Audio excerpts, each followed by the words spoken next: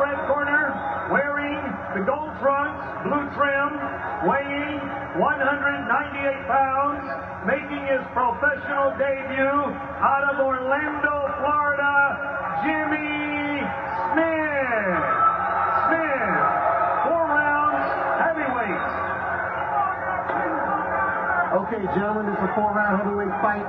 We went over the instructions before the bout, all right? You guys listen my commands, I'm in charge. You understand? Protect yourself at all times. Shake hands, come out boxing belt. Let's go. And the tale of the tape shows an advantage for Tony Moscow. He's a very big guy, 6'2", 216, 72-inch reach. Jimmy Smith checking in at 198 for tonight's bout. Tony Moscow, a very popular local fighter. We saw him make his pro debut here at the Sun Dome a month ago. It was a successful one. Not long on defense, but he has a lot of power. Chuck. Well, from what Jimmy Smith looks like at the beginning of this fight, I think him and Ben Smith may be a pretty good uh, matchup. What do you think?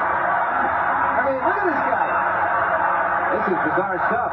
Almost looks like a rock and sock and roll and Timber. He is cold packed by Tony Moscow. I've fallen and I can't get up. You can almost hear it. He needs an alarm. And Brian Gary issues it, flags him out. That may we may need the Guinness people ringside here.